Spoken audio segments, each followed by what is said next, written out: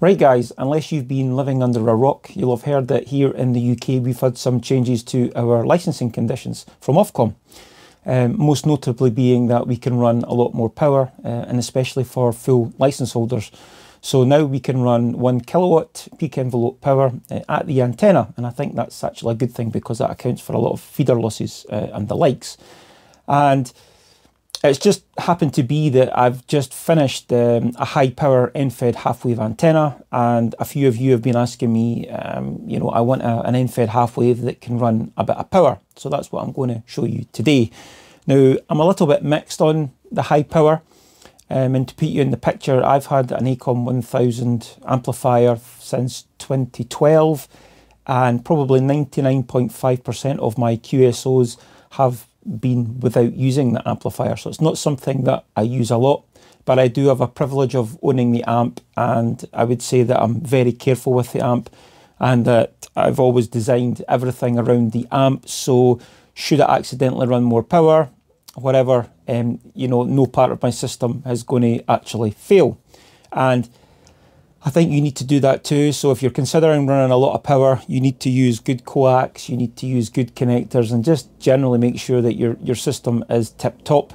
Uh, I use Messi and Paoloni Ultraflex 7 um, and there's a, purely because it can handle the power, what I need to run on the specified frequencies, which is typically HF. Um, that's only where my amplifier works. I'm actually on 6 meters, 50 megahertz. Um, but, uh, you know, and, and that comes down to the cost as well. So it's not too expensive, about £2 a metre, but, you know, spend your money on good coax. So that's, that's the housekeeping out the way. So if you've been following the videos, you know I've been doing testing on end-fed half-waves, which I've said. So um, came to the conclusion, and it's a discovery of mine, but you know, it's it's, it's not me. I'm going to say it's a discovery, but it's not really my discovery. But I did some back-to-back -back testing and come up with um, a core. So it's an auto transformer. It's three cores of Fair-Rite FT24052 stacked together. And uh, we make an auto transformer, which is a slightly different way to wind an end-fed half wave, still a 49 to 1. Um, and we found that so between, I'll, I'll, need to try and put that graph up on screen again, but it's, it's, it's basically very efficient where we need it to be on the HF spectrum. Now, I've then taken that uh, end-fed half-wave uh, transformer and I've actually built it into an enclosure and I'm not saying that it's the most pretty but I think it does a reasonable job for what we need to do here. I was a little bit worried about this core heating up so underneath the core I actually had one of my mounting plates from the last end-fed half-wave that I built and it's got a higher melting point shall we say than the plastic enclosure so I put that behind it. I didn't actually need that um, and in a lot of end-fed half-wave transformers, I see a capacitor, which is a big, huge thing. Um, and I think, well, why do you actually need that? Um, because if you actually look at the maths and the physics, even if you run a big power, say a kilowatt uh, on an end-fed half-wave, your capacitor doesn't actually need to be that highly rated. And off the top of my head, I think it was something like seven or eight hundred watts it needed to be rated at. Well, these are three kilovolt capacitors. They're made, made by TDK, so they're not cheap rubbish. So I always say put good capacitors into your end-fed half wave, and the capacitor handled it um, absolutely no problem at all. So I set up this end-fed half wave on a, a 12 meter, 12.4. It was a DX Commander pole. Um, it's very similar to the Spider Beam, but what I would say is it's slightly longer and it's actually slightly heavier. Um, there's not much between them, but it's just, it's, I think it comes down to the user, but I'd say it's ever so slightly heavier duty um, over the spider beam. And what I noticed is when I was actually putting it up, um, it was just that little bit more heavier, but that's not a bad thing. Uh, I guide this pole at the bottom and I also guide it halfway up and that was using the spider beam guide belt because we had a, a bit of wind. I ran the antenna with my reel system and the reason I did that was it was very quick. I could adjust um, resonance on the fly um, and I knew it could handle high power. So I set the antenna up as a monoband for 20 meters. I would have worked on 10 as well, but I set it up for 20 meters and I run the antenna about six o'clock local time. So the band wasn't fully. Uh, it, it, was open to Europe. It was starting to close, but it, it wasn't going long yet, like you like you would typically see. That would maybe happen for another um, another hour or two, which I, I couldn't be on. So I wound up the amplifier um, and we gave it a good go at uh, a kilowatt. And I'll let you have a listen to these uh, QSOs now.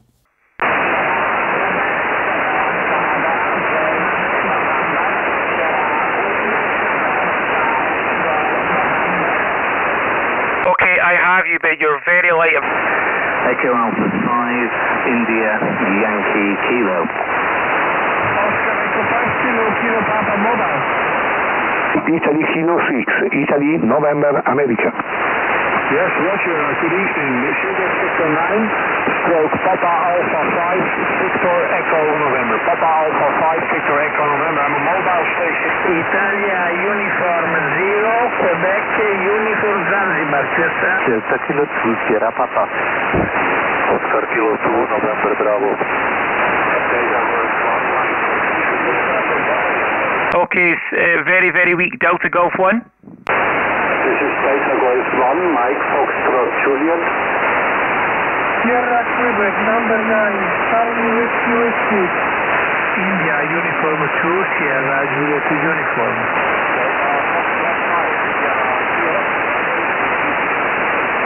Uh, from North America, Delta Fox Zero, Bravo Hotel. Bravo Hotel. Do you copy my? Right, so we made all in all about 30 contacts off the top of my head. They were all round about Europe. I did have a little bit of a pile up going, um, but what I would say was that I was probably running too much power. Um, and the reason I say that was I was appearing deaf to a lot of stations. Quite often, the stations were 5 and 5, 5 and 6 to me, and they were telling me I was 5 9 plus 10, 5 9 plus 20. So more power does work you could say that it's an efficient antenna, which probably is the main thing, um, but it really was probably too much power. now, after making those 30 or so contacts on single sideband, I then went to CW. I then left the power set and I was running a kilowatt on CW in 20 meters. And all told, that was probably a waste of time. But I only did that um, in order just to stress the transformer a little bit. I wish I had a temperature sensor in it, but I need to maybe think about that and how we did that. So I run CW, one kilowatt, calling CQ for about 20 minutes. I did work a couple of stations there, and funnily enough, the station that came back to me, an Oscar Mike station, they were running 25 watts and they were 599, real, you know, real 599. So again, running a kilowatt in CW is a complete waste of time. So you know, you don't need to do it, guys. Um, but the purpose of me doing that was really was just to stress the end-fed half wave transformer. Once I took the antenna down at the end of the night, I then took the enclosure off the end-fed half wave. So this, it maybe been about 10 minutes, 15 minutes to take it down. I opened up the enclosure and the transformer was barely warm. So it was, it, it wasn't cold, but it wasn't warm, as I would say. So everything looked absolutely as it went into the box. Um, no difference, absolutely. The capacitor was absolutely spot on. So, not a, a conclusive test for the end-fed half wave because I've not tested it on a lot of the other bands, just an initial test. Um, but if you want to run uh, power through that sort of auto transformer with the 240 52 cores, I was using big wire on this. I think this is two millimeter wire. Um, you could probably go a little bit smaller, but you know, keep to wire that's round about that if you want to run uh, a bit of power. Some good housekeeping, as I mentioned earlier, about using good coax. Um, I used a counterpoise wire on this, um, and I also used a choke. It was a GM3 ACK choke, which was actually this one here. This is actually high power coax. It's RG. It's a form of RG142, so it's rated probably two and a half, three kilowatt. So we ran that, absolutely great. I had no RF coming back into the shack whatsoever. Um, uh, eh, from an, an, EMF point of view and a compliance for here in the UK, I went onto the Ofcom and I did the calculator and I needed uh, about four meters of separation, or I think it was just under that. So I had four meters of separation to each of the fences. So my the bottom of my fence and the side of my fence. So it was away from the general public. Um, so bear that in mind as well.